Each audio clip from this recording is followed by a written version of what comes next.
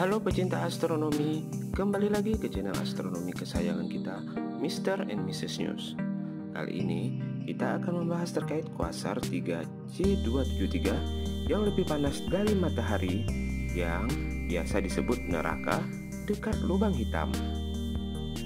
Nah, sebelum kita lanjut ke penjelasan, jangan lupa untuk subscribe dan share video ini ke teman-teman lainnya agar mendapatkan video terbaru terkait astronomi, fenomena astronomi, dan berita astronomi lainnya.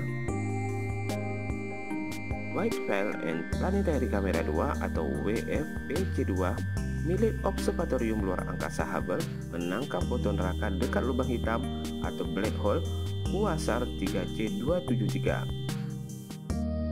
Di antara objek-objek yang sangat terang ini, 3C273 adalah yang paling terang di langit kita.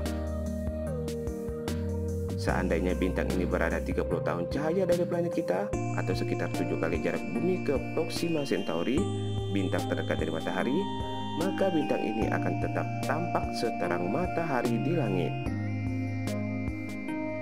Dikutip dari situs NASA, White Bell and Planetary Camera 2 dipasang di Hubble selama misi pesawat ulang-alik STS-61 Bell and Planetary Camera 2 dan mampu melihat gambar dalam spektrum yang tampak ultraviolet dekat dan inframerah dekat.